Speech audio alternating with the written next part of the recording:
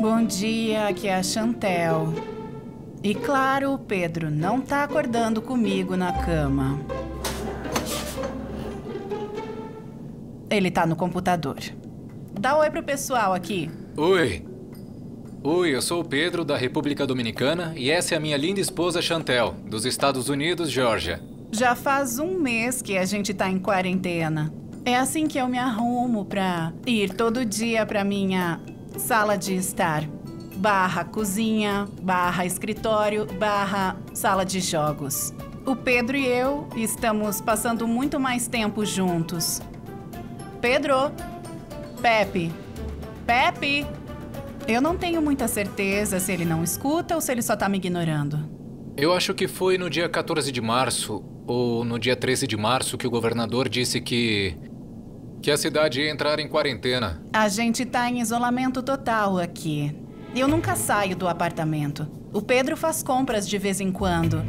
Ele vai ao mercado para comprar comida, mas eu não saio nunca. Bom, eu sou a pessoa da casa que que tem que sair e arriscar a vida para trazer a comida para cá. O que tá achando de ficar em casa nessa quarentena?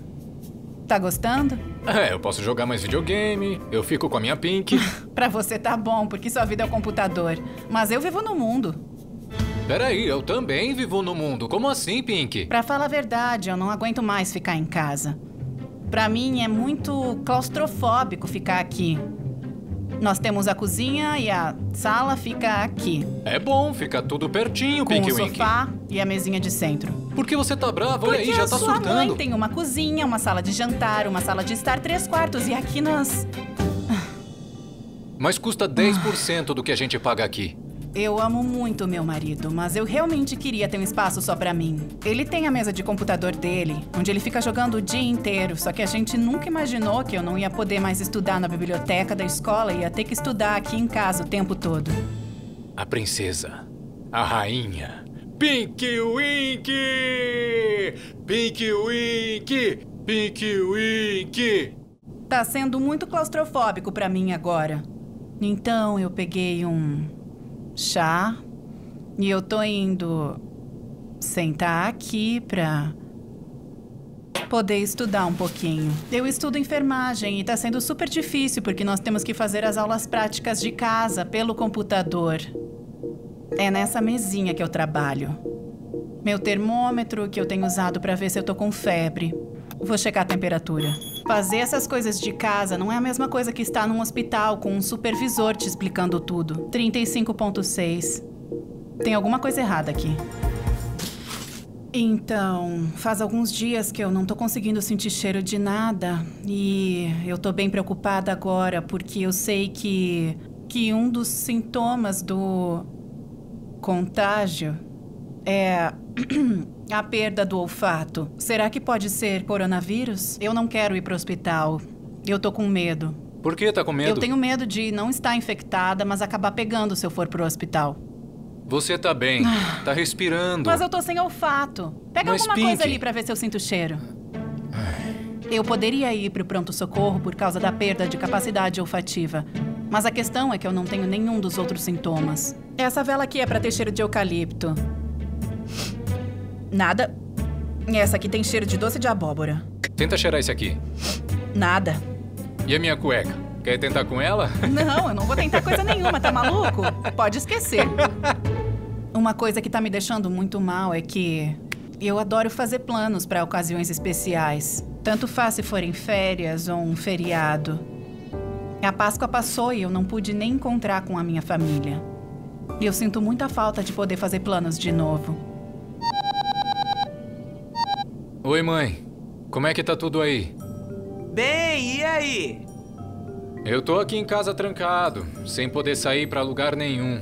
A gente tá em quarentena. é, primeiro falaram que ia durar 14 dias de quarentena, depois disseram que seria. seriam mais 20 dias na Geórgia. Bom, aqui estamos já há 23 dias em quarentena. E tem toque de recolher das 5 da tarde às 6 da manhã. Se não Sei. for emergência, não pode sair. Mas o que é considerado emergência? O que é emergência Uma pra eles? emergência seria ter que ir pro hospital ou pra Ah. farmácia. Tá Aham. tudo muito difícil aqui. Tem muitos mortos. A gente mantém contato com as pessoas por chamada de vídeo ou telefone, mas eu sinto muita falta de interação social. Chantel, você quer ser a minha modelo hoje? Tá bom, faz tempo que eu não me arrumo mesmo. Bom, o Pedro comprou uma câmera nova. E ele adora tirar fotos. Eu não sou muito profissional ainda, mas eu aprendi algumas coisas. Deixa eu ver, amor. O que, que você acha? Olha, eu gosto muito de posar pra ele. Mas na verdade ele não sabe tirar foto direito. Amor, que sombra é essa aqui? Você quer ou não tirar fotos profissionais? Bom, eu ainda tô aprendendo. Eu tiro fotos boas, às vezes. Será que tem como melhorar a luz? Tá muito ruim. Melhor ficar aqui. Essa sessão de fotos não deu muito certo.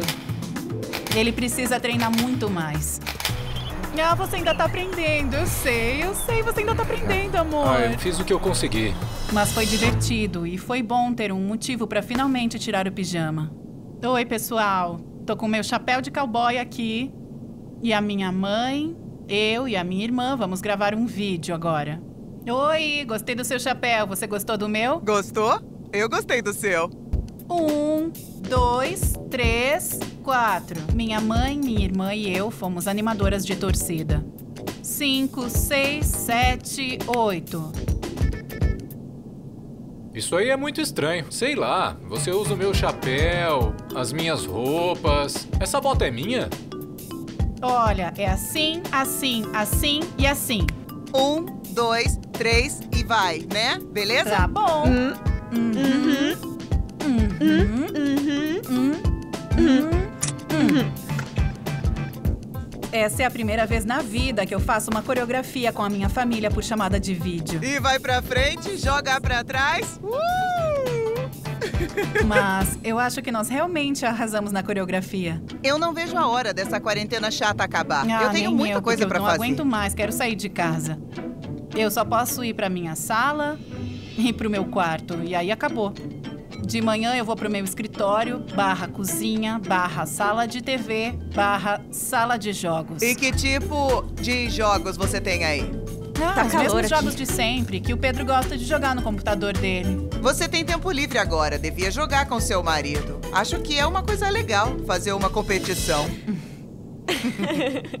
Bom, foi muito bom ver vocês duas. A gente se fala mais tarde. Tchau! Tchau.